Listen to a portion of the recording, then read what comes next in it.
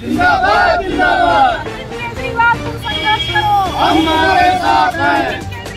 संघर्ष करो। हम तुम्हारे साथ हैं। कल दिल्ली के सीएम अरविंद केजरीवाल की ईडी के द्वारा गिरफ्तारी के बाद आम आदमी पार्टी के पदाधिकारी कार्यकर्ताओं में आक्रोश है। ऐसे में उत्तर प्रदेश के जनपद बहराइच में भी आम आदमी कार्यकर्ताओं में आक्रोश देखने को मिला। देखिए आप पदाधिकारी ने सीएम केजरीवाल की गिरफ्तारी को लेकर क्या कुछ कहा? पद पर है। अरुण कुमार सिंह नाम है मेरा जिला अध्यक्ष आम आदमी पार्टी बहराइच। आज आप लोग धरना स्थल पर मौजूद है क्या कारण अभी कल आप लोगों को जानकारी होगी हमारे मुखिया हमारी पार्टी के राष्ट्रीय संयोजक और दिल्ली के माननीय मुख्यमंत्री अरविंद केजरीवाल जी को कल ज़बरदस्ती उनके घर पे रेड डाल करके ईडी ने गिरफ़्तार कर लिया है।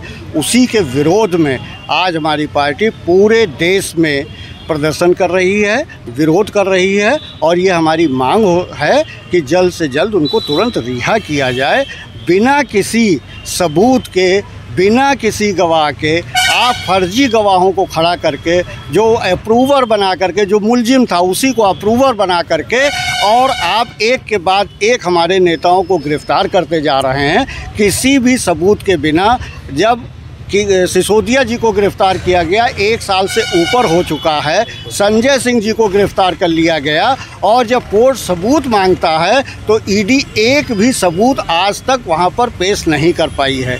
जिस केस में आप एक भी सबूत एक भी पैसे की हेरा फेरी साबित नहीं कर पाए, कोर्ट में दे नहीं पाए, उसी केस में आप हमारे मुख्यमंत्री को, माननीय श्री केजरीवाल जी को, आप ज़बरदस्ती गिरफ़्तार कर रहे हो। ये साफ़ दर्शाता है कि इस इलेक्शन में अपनी हार को सामने देखते हुए आप पूरी तरह से बौखला गए हैं। ये केंद्र सरकार, मोदी जी पूरी तरीके से आपा खो बैठे हैं और उनको ऐसा लगता है कि विपक्ष विहीन इलेक्शन करा करके, अकेले चुनाव प्रचार कर कर, वो मोदी जी प्रचार ही करना उनको पसंद है और वो चाहते हैं कि उनके खिलाफ इस देश में कोई आवाज़ न उठने पाए। इस इलेक्शन में वो अकेले प्रचार करते रहें और अकेले चुनाव लड़ करके और विजयी होकर के बैठ जाएँ।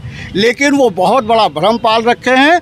भारत में तानाशाही आज तक कभी नहीं चली है, चाहे वो अंग्रेज़ों का शासन रहा हो और चाहे इंदिरा गांधी की इमरजेंसी रही हो, देश ने, यहाँ की जनता ने हमेशा मुँह तोड़ जवाब दिया है। वो अनुकूल प्रति प्रत्युत्तर दिया है। इस बार भी यही होने जा रहा है। मोदी जी ने केजरीवाल जी को गिरफ़्तार करके अपनी सरकार की उल्टी गिनती शुरू कर ली है। नए इनकलाब की शुरुआत हो नए इनकलाब की शुरुआत हो चुकी है और ये मोदी जी को बहुत भारी पड़ने वाली है गिरफ्तारी। अगर वो ये मंसूबा पाल रखे हैं कि बिना विपक्ष के चुनाव लड़के वो जीत लेंगे तो उन्होंने भारत की जनता को बहुत कमतर करके आका है। यहाँ की जनता तानाशाही का मुंहतोड़ जवाब देने के लिए हमेशा तैयार रही है और इस बार भी यही होने जा रहा है। मोदी जी का इस देश से सूफड़ा साफ़ होने जा रहा है। 400 पार की उनकी जो घोषणाएँ हैं, वो 40 पार होने में भी मुश्किल पड़ जाएगी।